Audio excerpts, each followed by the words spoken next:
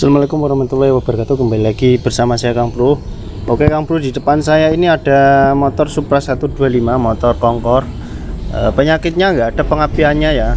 Jadi yang punya motor bagian sepul sini sudah dibuka. Ini habis dibuka di lem Ya ini lemnya masih basah.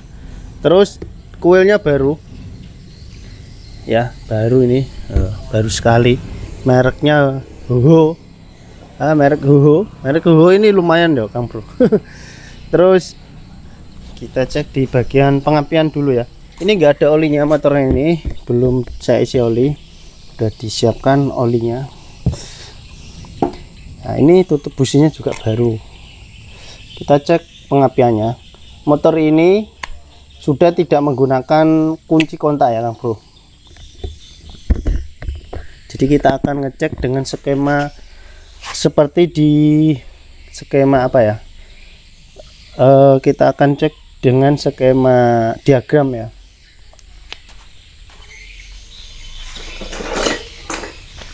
Oke saya akan buka dulu bagian businya untuk memper, mempermudah saat diengkol ya biar ringan.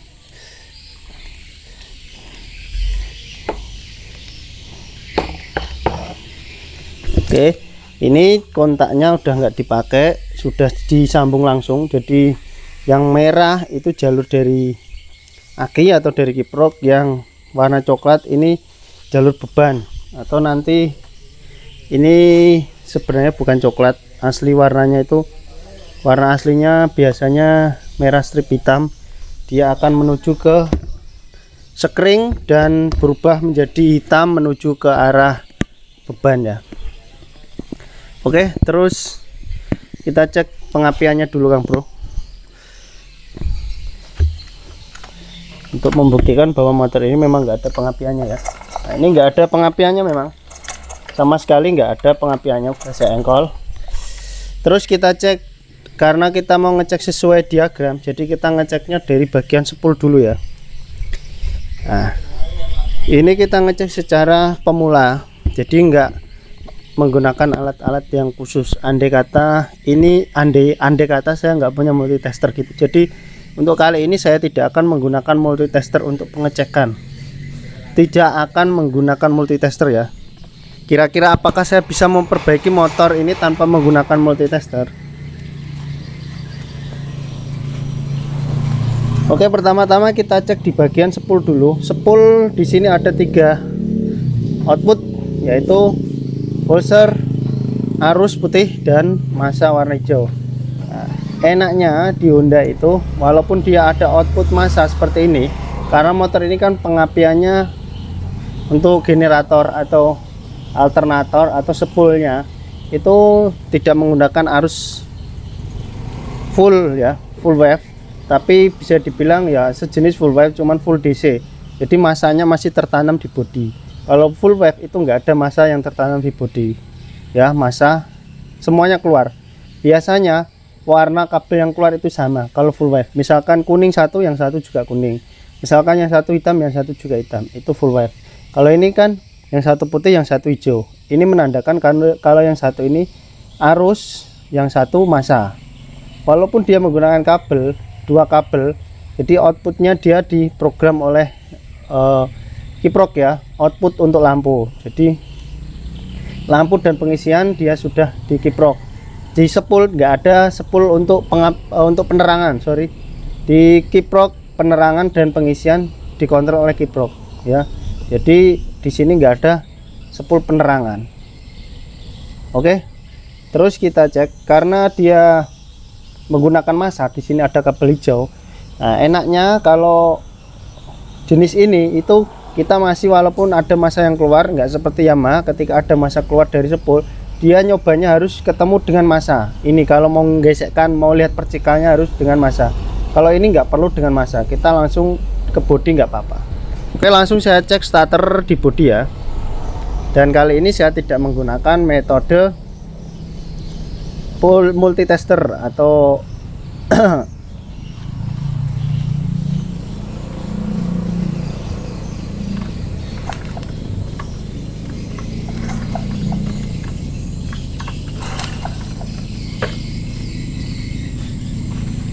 Oke Anda bisa lihat barusan sudah saya engkol nggak ada eh nggak ada. Ada pengapiannya ya. Pengapiannya percikannya api ada dan lumayan besar karena saya engkol pelan aja. Terus dari sini dari soket sepul ini putih ini lanjut ya. Warnanya tetap sama putih dan juga hijau ini tetap sama.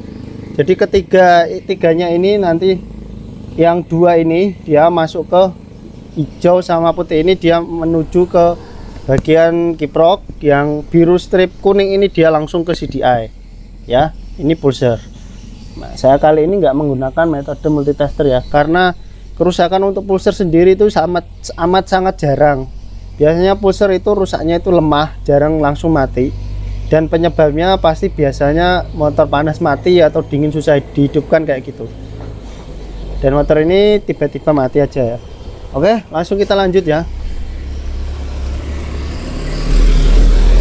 Oke, di bagian kiprok sini. Ini kelanjutan dari kabel kuning tadi. Eh, sorry, kabel putih. Dia masuk ke kiprok sini. Nah, dia masuk ke kiprok. Tanpa melalui kontak ya. Ini belum kontak karena ini putih dari spool tadi masuk ke kiprok ini. Kita cek di sini kita cek lagi di spool sini. Kalau di sini ada apinya berarti kabel dari spool menuju ke soket kiprok itu normal. Kalau nggak ada apinya berarti antara soket tadi ke sini itu ada yang putus. Oke kita coba lagi. Oke apinya ada ya. Nah, apinya bagus. Jadi normal aja. Terus masuk ke sini dia output outputnya merah. Ya outputnya merah. Merah ini yang nantinya menuju ke bagian kunci kontak. Ya. Nah, karena kita tidak menggunakan multitester kali ini kita langsung kayak gini.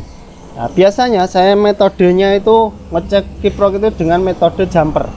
Jadi ini saya sama ini saya jumper. Nanti merah keluar apinya enggak atau di pengapian ada enggak? Kalau di pengapian langsung ada berarti sudah bisa dikatakan di kiprok mati ya. Tapi kali ini saya tidak menggunakan metode jumper dulu. Nah, saya hanya ingin mencoba. Kita pasang kembali ke kiprok yang jelas input kiprok ada ya. Terus kita cek di merah. Merah output daripada kiprok tadi dia menuju ke kunci kontak sini. Nah menuju ke sini. Ya merahnya. Jadi ini ada merah ada merah strip hitam. Kalau yang merah ini dari kiprok merah polos. Kalau merah strip hitam ini outputnya. Output kontak. Ini yang merah polos itu input kontak. Jadi dari kiprok kan input masuk ke kontak keluarnya merah strip hitam. Oke kita coba dulu di kabel merah polos dulu yang input daripada kiprok. Oke ya kita coba di sini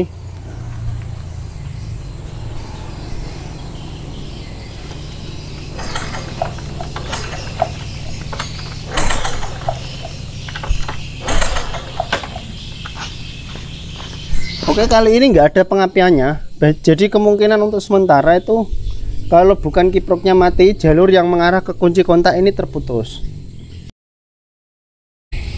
Oke Kang Bro karena di bagian output merah yang mengarah ke kontak tadi itu nggak ada pengapiannya ya. Sekarang kita coba cek atau jumper di bagian sini ya. Kita jumper putih dengan dengan merah karena saya tidak menggunakan metode multitester ya. Kita cek putih dengan merah. Nah nanti kalau di bagian atas tadi yang merah kontak kok ada apinya berarti kan jalur yang antara sini put karena putih sini kan ada apinya ya. Jadi masuk ke sini muter langsung ke merah ini kan sana ya di sini kan dia set muter ke merah sana. Kalau merah sana dia ada apinya berarti kan jalur merah ini yang ke arah sana ke arah kontak aman. Dan bisa kemungkinan ya kiprok mati. Ya karena kiprok tidak mengeluarkan arus. Tapi kalau ini nanti di sana di bagian atas kontak kok nggak ada apinya ya misalkan nggak ada apinya berarti bisa terjadi karena kabel merah ini yang ke bagian atas itu ada terjadi konslet atau putus. Oke? okay? Kita lanjut di bagian sini ya kabel merah mengarah ke kontak. Saya akan coba engkol di sini kira-kira ada apinya apa enggak. Kalau di sini ada apinya berarti fix kemungkinan kiproknya yang rusak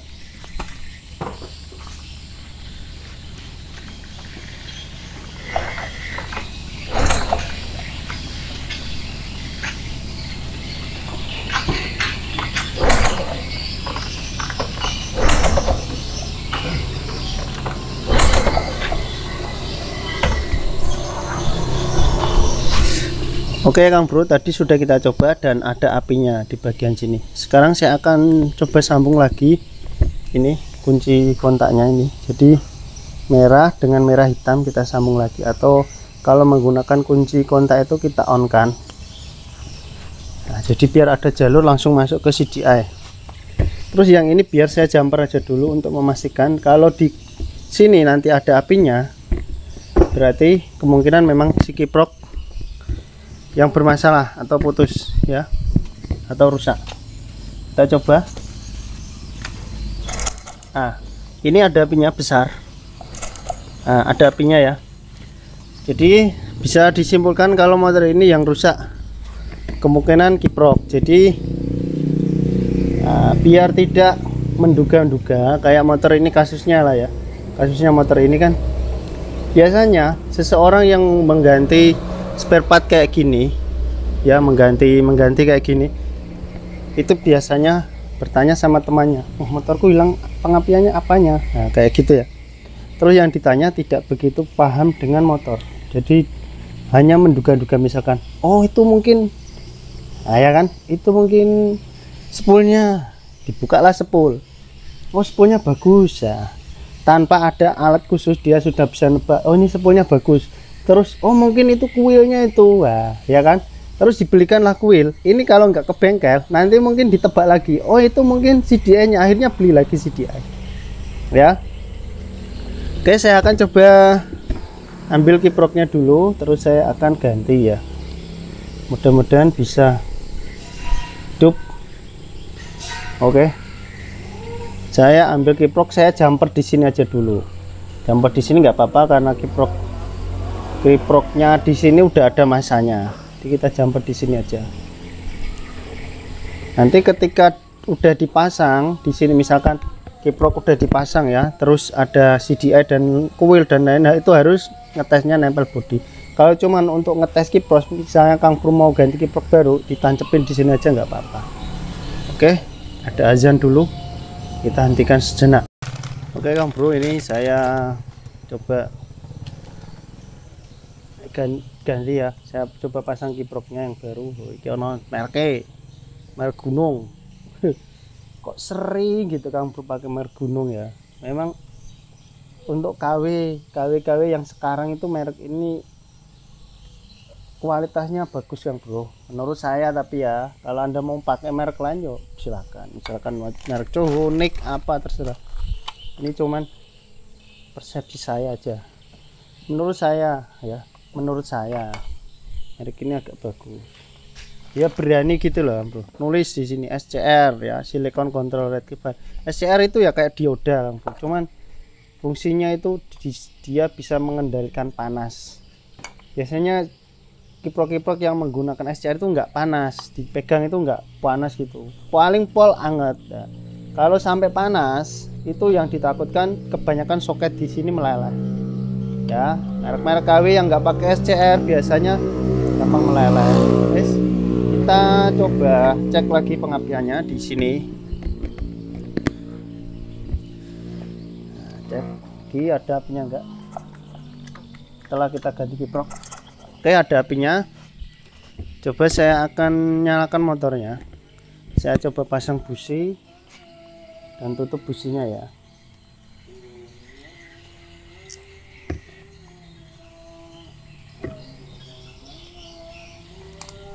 oke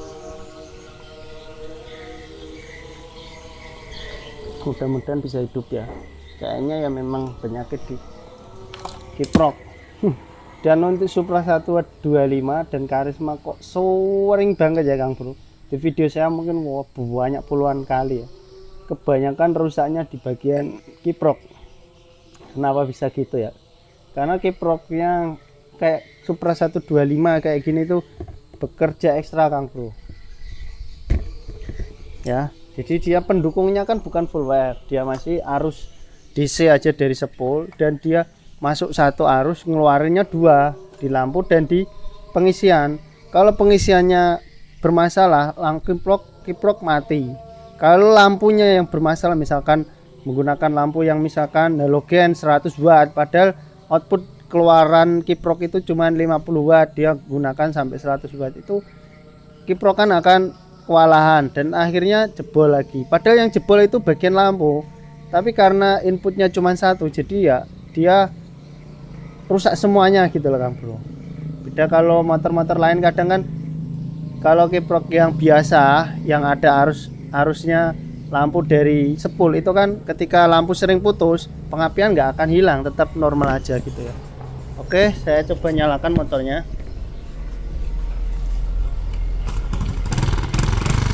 Oke hidup ya. Motornya hidup normal. Oke saya matikan dulu. Karena bilang yang punya itu bilangnya yang punya kan tadi habis dibuka di spoolnya sana. Jadi oli jelas kurang. Nanti mau saya ganti oli. Ini tadi cuma nyoba sebentar aja intinya motor ini sudah hidup ya. Nanti akan saya coba kembali setelah saya pasang dan isi oli. Nanti kita coba hidupkan lagi. Oke kang bro. Ini sudah saya pasang kiproknya. Kiprok yang lama sudah saya ganti ya dengan yang baru. Kita coba lihat yang lama masih ori apa sudah gantian. Ini untuk kiprok yang lama. Sepertinya masih originalnya sepertinya ya kalau nggak salah. Ya sekarang kita ganti yang baru. Mudah-mudahan setelah kita lakukan penggantian ini motor kembali normal dan awet ya.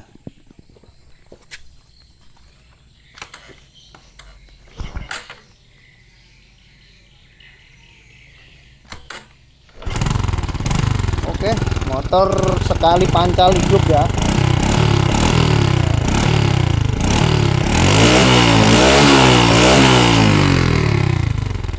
oke ya kayak gitu ya. Normal langsung bagus. Kita coba matikan aja.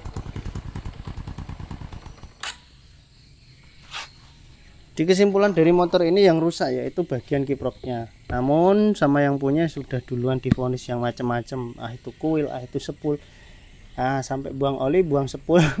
Eh buang oli buka sepul ganti kuil akhirnya malah buang-buang dana Oke mungkin segitu dulu yang bisa saya berikan. Semoga videonya bermanfaat. Bila ada salah-salah dalam tutur kata saya mohon maaf yang besar-besarnya wabillahi taufiq wal Wassalamualaikum warahmatullahi wabarakatuh